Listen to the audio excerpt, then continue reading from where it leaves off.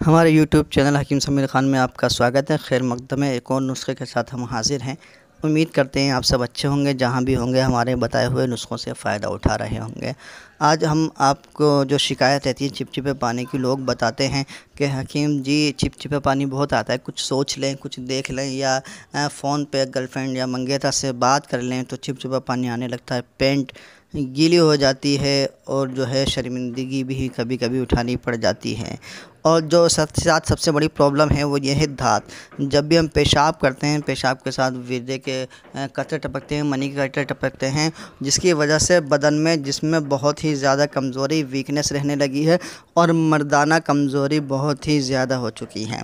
तो कोई ऐसा नुस्खा बता दीजिए जो आसान हो, सरल हो धात भी ख़त्म हो जाए और मर्दाना कमज़ोरी भी ख़त्म हो जाए चिट्टी और पानी की शिकायत भी ख़त्म हो जाए। तो एक आसान सा, सस्ता सा नुस्खा लेकर मैं हाज़िर हुआ हूँ, जिससे मर्दाना कमज़ोरी भी ख़त्म हो जाएगी और जो है चिपचिपा पानी की शिकायत भी ख़त्म हो जाएगी। आप साबुत वाला धनिया ले लें पूरा मिश्री ले लें और सफ़ेद मूसली ले लें। इन तीनों को एक ही मात्रा में ले लें, इनका कूट लें, पीस लें, बारीक पाउडर तैयार कर लें। बारीक पाउडर तैयार हो गया, दवा आपकी तैयार है एयर टाइट डब्बे में रख लें। पाँच ग्राम सुबह को ले लें खाली पेट, नाश्ते से पहले निहर मुँह और पाँच ग्राम रात में ले लें। सोते टाइम एक गिलास गुनगुने दूध के साथ।